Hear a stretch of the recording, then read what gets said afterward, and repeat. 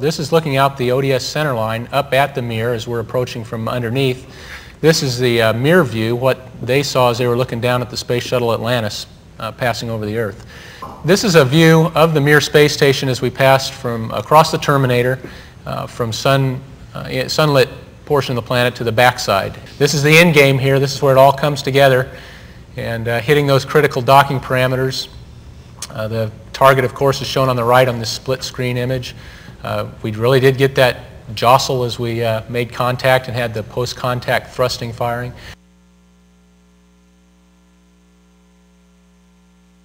Here's a view of the initial hatch opening uh, from the Russian side, of course.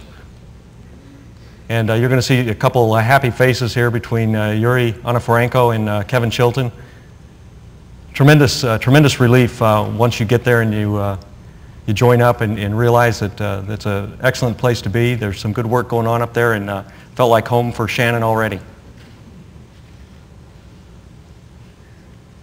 And of course, Shannon, uh, she felt at home the minute she got there, and uh, they put her right to work. She, uh, she was one of the experts in the transfer activities. And here you see the gift exchange. So some of the gifts that we gave them were, were uh, space books for their children. And uh, it uh, brought tears to their eyes.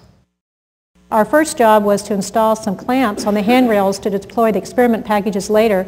And then our task was to move to a camera to remove it on the docking module. And this was used on STS-74 when they docked with Mir. And then when they left the docking module there, it was left there also. So one of our tasks was to remove it and bring it back to Earth. And here you see Rich, he's uh, translating with the camera itself, which is, is rather large, and he was being very careful of that as he shepherded it back to the, the tunnel adapter where he stowed it uh, temporarily back inside till we were finished with the EVA. Here you see uh, Linda and myself removing one of the four MEEP containers for installation into the, onto some clamps on the docking module. Uh, we tested out some new tools and equipment for use on the ultimate uh, International Space Station, uh, the rigid tether and the multiple use tether, which we use to transport the, uh, the MEEPs to their work site and uh, install them into the clamps. Uh, here you're going to see one of those activities. And then one of the funnest things that Linda and I had to do were the deployment of the MEEPs, and you're going to see that here. it's so much easier to do up there. You just give it a little flick and it flies around.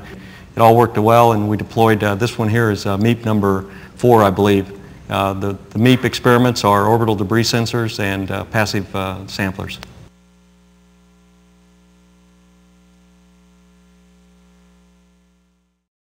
This is the farewell ceremony, and I think I can speak for the rest of the crew.